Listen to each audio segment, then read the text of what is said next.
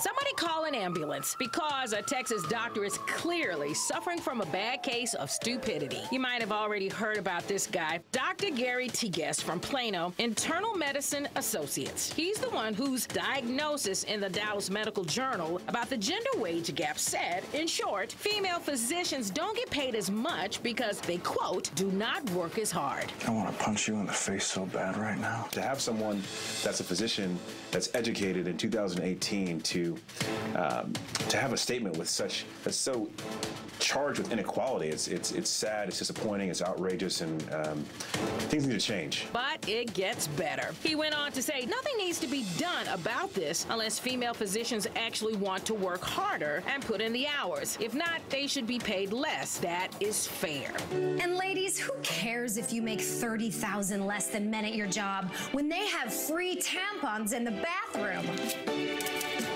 His logic may not make sense, but the gender wage gap is still a huge problem these days, even in the medical field. With uh, big corporations and large hospital systems, there's about a 20 to 30 percent difference in the amount of, of pay that females receive compared to their male counterparts. And it's sad. We need to stop this train of thought and really figure out a way to bring equality in the workplace. The good doctor eventually apologized, saying, I now understand more clearly how intricate this issue is and that there are ways we can work together to resolve these disparities.